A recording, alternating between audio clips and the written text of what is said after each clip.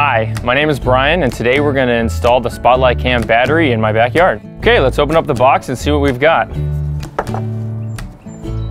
We have our Spotlight Cam, battery pack, we have the instructions, tools, USB cable, and a mount.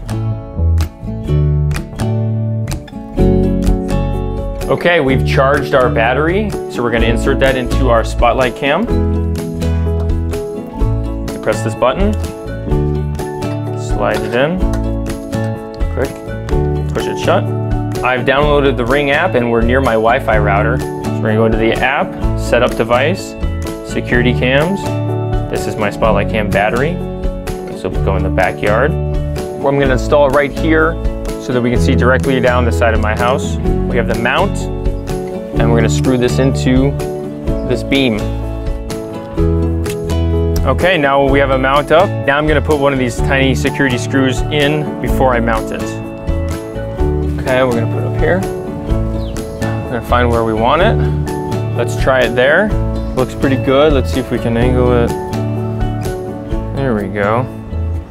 Okay, now it's good to go, and now I'll always know what's going on on this side of my house.